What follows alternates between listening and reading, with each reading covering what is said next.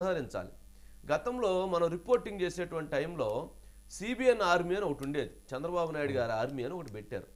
ఆ టీము ఎక్కడైనా కానీ ప్రోగ్రాం జరుగుతుంటే బయట భారీ గేట్ల దగ్గర నిలబడి మొత్తం ప్రోగ్రాం అయిపోయేంత వరకు వాళ్ళు అక్కడ నుంచి వచ్చినటువంటి వాళ్ళ లోపల పంపించి మళ్ళీ బయట పంపించేంత వరకు కూడా పూర్తి అప్రమత్తతతో ఉండేటువంటి వాళ్ళు. వాళ్ళందరూ చదువుకున్నటువంటి వాళ్ళు. వాళ్ళు గాలి తిరిగే వాళ్ళు కాదు.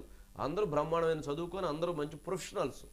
మరి అలాంటిది మరి అలాంటి వాళ్ళు ఆ ప్రోగ్రామ్స్ని ఇచ్చేసినటువంటి వాళ్ళు తర్వాత కాలక్రమంలో వాళ్ళ వర్క్ వలన కావచ్చు లేదా వాళ్ళ జరిగినటువంటి అంశాల వలన కావచ్చు లేదా మొత్తానికి పార్టీలో కొంచెం లోకలోకలు ఏర్పడి వాళ్ళ వర్క్ స్టైల్ మీద కావచ్చు లేదా వాళ్ళ వైఖరి మీద వాళ్ళు కూడా తప్పుడు ఉండొచ్చు.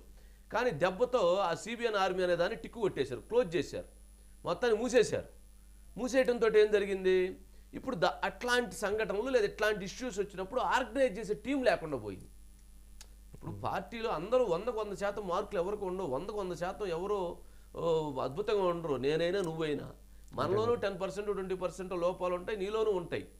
అలాగా సెట్ సెటరేట్ చేసి చేసుకొని వెళ్ళకుండా ఆ వ్యవస్థ ఏదైతే ఉందో అట్లాంటి టీం మొత్తాన్ని ఒక్కసారిగా దాన్ని క్లోజ్ చేశారు.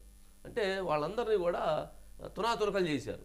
దాంతో మొత్తం వ్యవస్థ ఆ వ్యవస్థ అంటే ఇట్లాంటి వాటికి ప్రోగ్రామ్స్కి వెళ్తున్నప్పుడు అక్కడ వాళ్ళు ఒక రోప్ పార్టీ లాగానో అసలు వాళ్ళు వాళ్ళందరూ ఐటీ ప్రొఫెషనల్స్ లేదా ఇంకోటి ఇంకోటి అయ్యండి వాళ్ళు అవన్నీ చేస్తూ ఉంటే ఆశ్చర్యంగా ఉండేది అలాంటి వాళ్ళు ఇప్పుడు లేకపోవటం కూడా అటువంటి ఇటువంటి సంఘటనలప్పుడు లేదా ఇట్లాంటి ఇష్యూస్ అప్పుడు అట్లాంటి వాళ్ళు ఉంటే కొంచెం చదువుకున్నటువంటి వాళ్ళు కాబట్టి ఆలోచన షార్ప్గా ఉండిద్ది ఆలోచనతో జాగ్రత్తగా చేసేటువంటి పరిస్థితి ఉంటుంది.